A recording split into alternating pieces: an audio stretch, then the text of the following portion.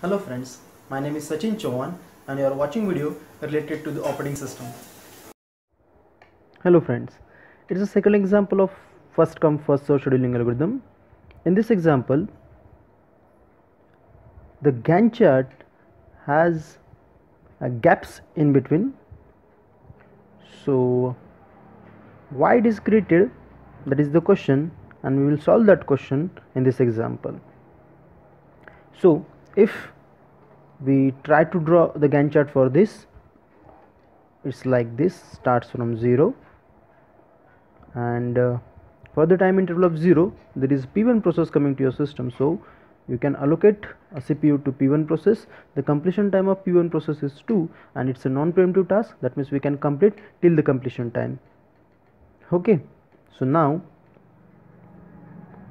at time interval of 2 check is there any process arriving to your system? Is there any process? No there is no process arriving at 2 but we are having an process arriving at 3 time interval. So we have to move our Gantt chart from 2 to 3 and this creates a gap in between your Gantt chart. So that means it is a one gap now at time interval of 3 there is a process that is p2 process. So we can complete this p2 process up to 5 that means 5 plus 3 that's 8 again check.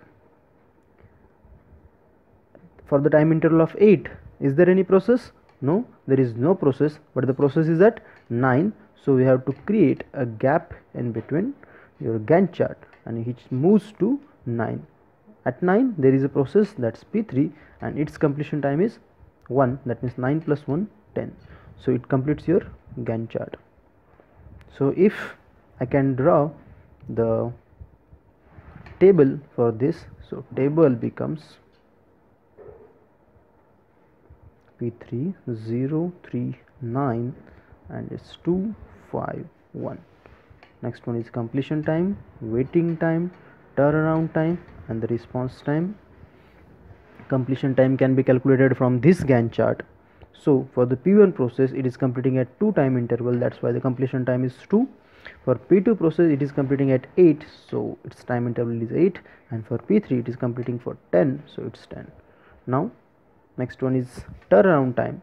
Turnaround time is calculated by the formula completion time minus arrival time. So completion time minus arrival time 2 minus 0 that is 2 8 minus 3 that becomes 5 10 minus 9 that becomes 1 okay? Next one is waiting time. Waiting time is calculated by the formula turnaround time minus burst time. So turnaround time we have calculated here that is 2 5 and 1 minus burst times column. Okay?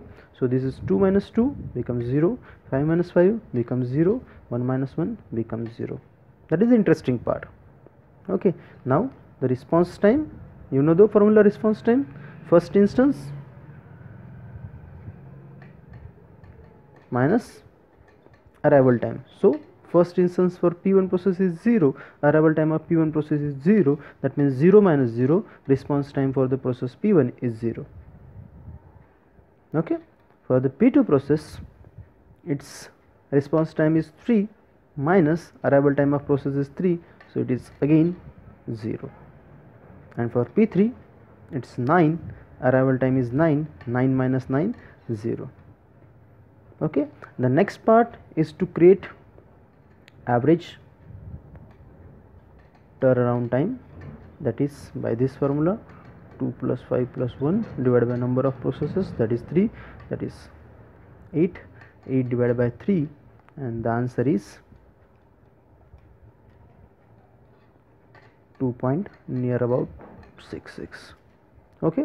And last one is average waiting time which completes your question. It's 0 0 divided by 3 the answer is 0 okay?